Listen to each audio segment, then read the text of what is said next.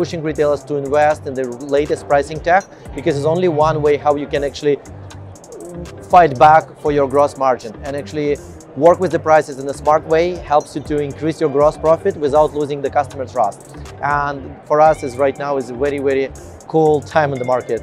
Build the prices, what really will tailor it to your customer behavior and consider all those factors like store location, uh, competitors, cost, and give you the optimal price, what really customer will allow it, and you will still get your gross margin targets. This is probably most important in the nowadays. resilience, right? Resilience like Microsoft, all big names right now rising this stuff, like retailers should prepare for something is coming. Yeah, and for my statement of resilience is like retailers, they're flexible, they can react, they can be smart and can optimize everything what they can optimize in their business operations. Like this is helps them to really pass through this very complicated period of the time.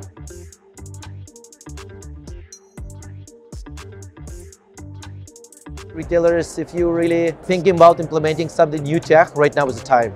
Because this is really helps you guys to really fight with this complicated situation on the market. Yeah, this is what I can add. Invest in your data and uh, implement the new tech, like, will helps you to pass this.